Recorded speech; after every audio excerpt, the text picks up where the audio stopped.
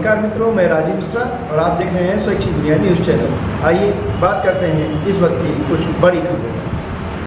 तीन जून को कानपुर में जुमे की नमाज़ के बाद भीड़ की सांप्रदायिक हिंसा के मामले में लगातार पुलिस कार्रवाई कर रही है, जिसके अंतर्गत कई लोगों को चिन्हित कर उनकी गिरफ्तारी भी की गई है। पुलिस की इस कार्रवाई पर सवाल उठाते हुए मुस्लिम सामाजिक संस्था जमीयत उलेमा मुस्लिम फसनल्ला बोर्ड और कानपुर शहर काजी साकिब अदीब मिसबाही व तमाम मुस्लिम संगठन के लोगों ने पुलिस कमिश्नर से मुलाकात कर उन्हें ज्ञापन सौंपा है। ज्ञापन सौंपने आए लोगों ने पुलिस कमिश्नर से मिलकर कहा है कि पूर्व में गिरफ्तारियों में कुछ बेगुनाहों को भी गिरफ़्तार किया गया है, जबकि पत्थरबाजी दोनों ओर से हुई थी। ऐसे में पुलिस द्वारा गिरफ़्तार किए गए बेगुनाहों रिहा किया जाए।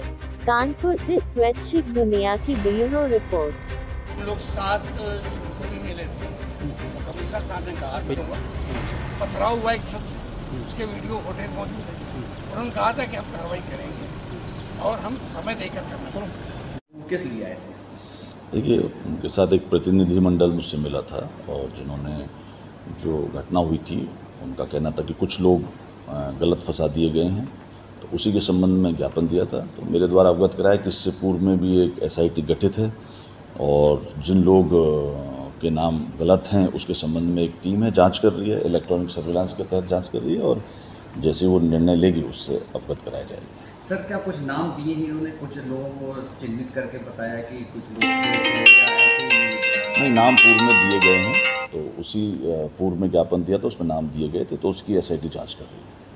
थैंक यू कमिश्नर साहब ने कहा था कि जो तीन जून की घटना है, हिंसा की घटना है तशद की घटना है, उसमें अगर किसी के संबंध नहीं है, कोई ताल्लुक नहीं है, बेगुनाह है, और ये साबित हो जाता बेगुनाह है, उसका लोकेशन भी वहाँ का नहीं है तो हम उसके पक्ष में एक सौ उनहत्तर सी कार्रवाई करेगी, यानी फाइनल रिपोर्ट लगाएँगे और जेल से बाहर लाएँगे। ये वादा किया था, लेकिन अब तो हुआ नहीं। ये वादा याद दिलाने के लिए काजियान शहर जिम्मेदारान शहर उलमा आज उनसे मिले और उन्होंने बहुत ही सकारात्मक जवाब दिया कि हम इसको जल्द से जल्द करते हैं। दूसरी बात इसमें सभी आप देख रहे हैं सभी जिम्मेदार साकिब साहब मौजूद हैं काजी शहर अब्दुल्ला साहब मौजूद हैं मामून साहब सभी सब देख रहे हैं सब लोग जिम्मेदार हैं। सबसे उन्होंने वादा किया कि इस पर जल्द से जल्द हम इस तरह से कार्रवाई के सिलसिले में सुनिश्चित कराएँगे। दूसरी बात हमने उनके सामने रखी थी कि नमाजियों पर एक छत से पथराव हुआ उसके फुटेज मौजूद है। आपने भी कहा था कि कार्रवाई पक्षी नहीं होगी, जो भी मुलजिम है सबके खिलाफ होगी, नहीं, अभी तक नहीं किया आपने।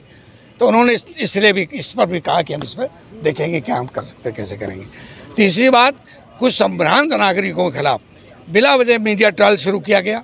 अखबारों ने उनकी छवि बिगाड़ने की कोशिश की। उस पर भी हम लोगों ने चिंता जताई और उस चिंता में उन्होंने दे ही शेयर्ड यानी शिरकत की, कहा, सही बात है, नोटिस देना चाहिए, गलत बात है। हमारी तरफ़ से कोई बात नहीं, सूत्रों के हवाले से छवि खराब करें, ठीक नहीं। है सकारात्मक बातें हुई हैं कमिश्नर साहब से उम्मीद है कि जो आज बातें हुई हैं, जो मेमोरेंडम दिया गया है, उसमें वो शीघ्र निर्णय लेंगे, यह हमें उम्मीद है